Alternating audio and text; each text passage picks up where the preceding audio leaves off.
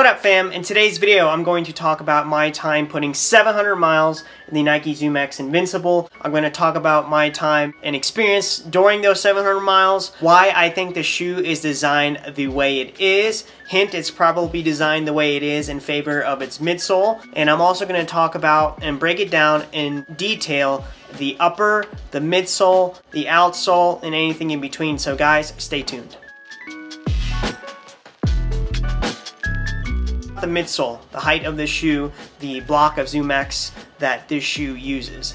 Now I only use this shoe during the 700 mile time just for easy runs and strides. There are several things that I've noticed about the midsole. In my opinion, there is a break-in period for ZoomX or Pebax type foam shoes, but this shoe in particular, because of its wide base and the fact that it is a block of ZoomX foam for the midsole, it did feel like to me it was bottoming out. Bottoming out in the sense of like this as if you could feel your foot sinking over time the outsole of the shoe or the outer sides of the midsole of the shoe while your foot's in it rise oh. up. But that didn't really happen until around 400 miles. Now the shoe is bouncy, it is responsive, it's fun to ride, especially if you haven't run in a shoe that has a lot of foam on the bottom. Now all shoes have a diminishing return when it comes to its bounce or its responsiveness. We all know that. The Invincible felt to me that it exponentially lost its responsiveness a lot quicker than say for example the Nike React and Free Run 1, version 1. Strides aren't really that great in them. It's great for getting those easy miles, great on your legs, especially if you've done like a workout, you know, the day before and stuff like that and you're trying to recover. What I think could prevent bottoming out of the shoe over time is if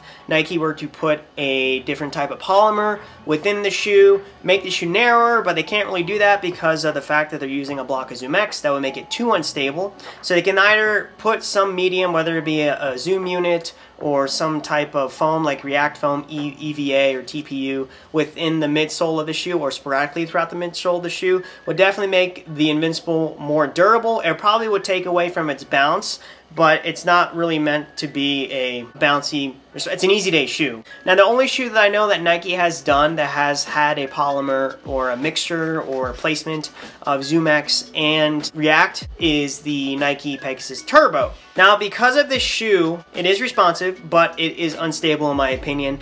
When you're running it, it kind of feels like you're running on a waterbed or like if you're sitting in a car and someone slams on the brakes and you're the passenger, the car stops but you keep moving, especially when running downhill in the early stages when the shoe is brand new, fresh out of the box, you will notice that it's a little unstable. The design in the midsole, if you notice, is a little bit thicker on the back end and it's slightly slanted on the back end. Because of that, the foot is probably going to favor excessive dorsiflexion to be able to get your foot through the gait cycle within this shoe and to achieve that dorsiflexion, the foot would actually evert out a little bit more or go outward. So if you fam at home know anyone that has a pair of Invincibles, run behind them and you'll notice that the foot or their foot will pan outwards when they run uh, to compensate for the mechanics of the midsole.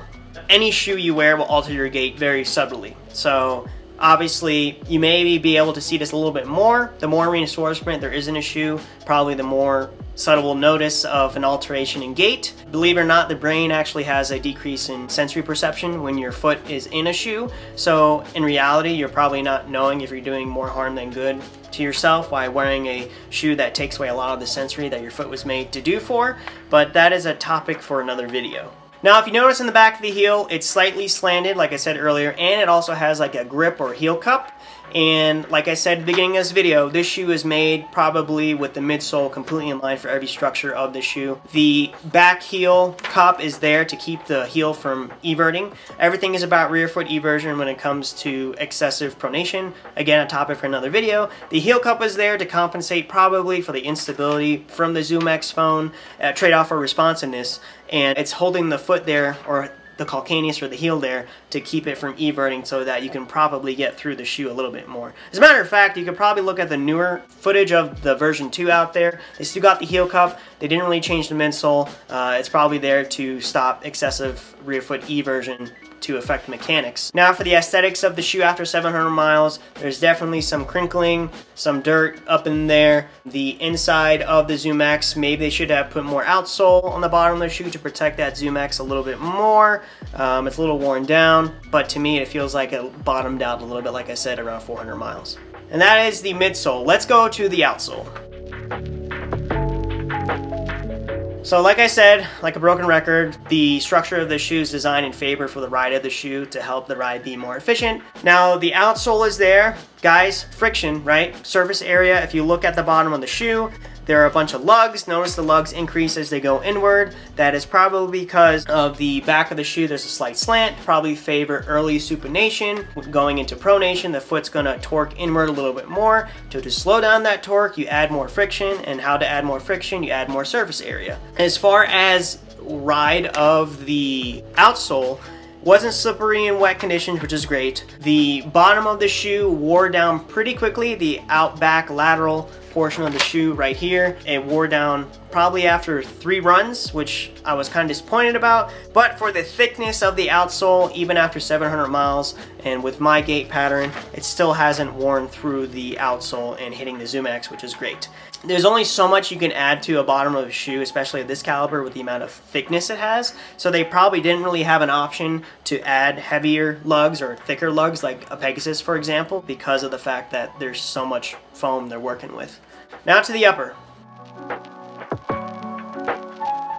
Now the upper is not as breathable in my opinion. It seems to get every piece of sand and dirt stuck in its fibers. The upper stayed tight throughout all its life, which is great. But I've heard that people have complained of pinky toe blisters. Comment down below if you've ever had a pinky toe blister from the shoe. And I don't think personally, unless they change the midsole of the shoe, they're to fix the upper in any certain way, which will probably come for the third iteration. They need that tack down because of, like I said earlier, the increase in rear foot eversion. The, believe it or not, the tighter you have on the top of the shoe, the less of a probability or less torque that goes on into the back of the heel. And that's why if you look at cross patterns with like lacing techniques or Arthur Lydiard ladder lacing techniques, believe it or not, both type of ways actually do a good job attacking down the foot. But as you run more and more, the shoe tends to loosen up a little bit, hence why laces come loose and stuff like that, which would definitely affect foot mechanics later on within the run.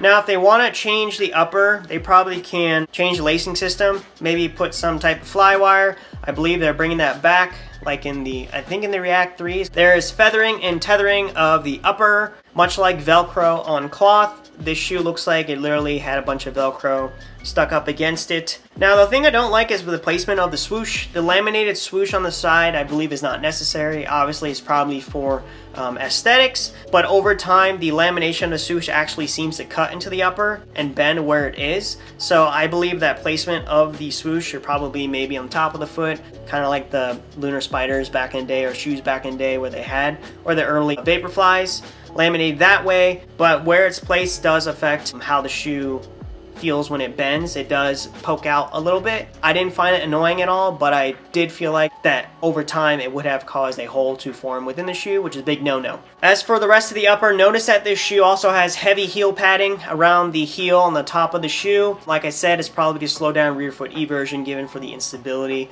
of the amount of ZoomX foam you're working with. But I believe there's also another mechanic to it, is that if you ever like hit your inner heel with your opposite foot, right, there are three things that can cause that. Lack of dorsiflexion in the big toe, lack of dorsiflexion in the ankle, and lack of eccentric pull when it comes to the hip flexor on the side that's going into the, uh, the opposite foot. So, if you were to not be able to load your big toe a lot, better. Given that the shoe's pretty unstable, your body's gonna probably, or your foot's gonna probably wanna go through that gait cycle as quick as possible to keep moving. There's a higher probability that you may wick and hit the inner side of the shoe.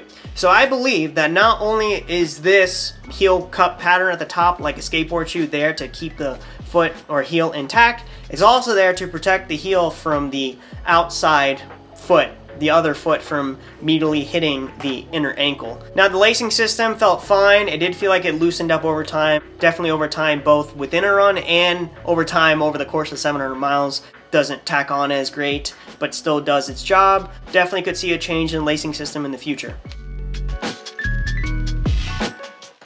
Things that Nike I think could do to change the shoe to make it better than it already is, is to possibly make the shoe a little bit more narrow. If they do do that, they may have to change the polymer within the midsole because if they go too narrow with ZoomX or PEBA, it may be a little too unstable. They could keep it the way it is and add some polymer or zoom unit within the midsole to keep the shoe from bottoming them out, make it more durable, may take away some responsiveness, but it's supposed to be an easy day shoe, so you don't really need responsiveness in my opinion. For the upper, they could probably make it a little bit more breathable, fix the lacing system so it doesn't tack so hard on your foot, fix the heel cup system in the back. If they change the midsole, then they could probably change the upper and the back of the shoe with it to make it a more favorable ride. Overall, it's a great shoe. I had some issues personally with Achilles and maybe a little bit of posterior tibial tendonitis because of the instability, but give the body time to adapt to the shoe. Don't wear it every day. And obviously do your strengthening exercises and stuff like that. Then you should probably enjoy the shoe a lot more. Alright fam, if you like this video, watch this video next. That is my time running 700 miles in the Nike ZoomX Invincible. Like, share, comment, subscribe, hit that notification bell for when I post my next video. Love you guys. Catch you guys next time. Peace.